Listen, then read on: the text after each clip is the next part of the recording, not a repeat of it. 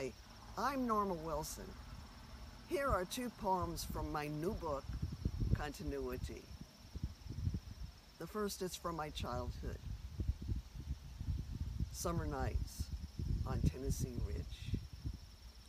Grandmama and Granddaddy sang to the mockingbirds. They teach me whippoorwills song, looking up the Big Dipper like the one we dip in the pail to drink rain from the sky. We count the stars that arc and fall above us. We call to the distant whoo of the owl and doze within the dark embrace of night. The second is from my life in South Dakota, where I live now.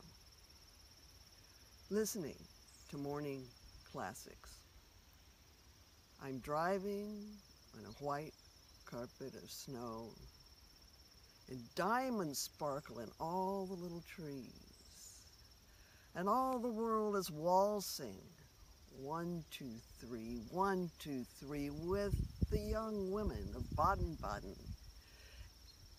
gracefully swirling in long white gowns. Like snow drifting on corn stubble gold. Nothing in this world is mundane.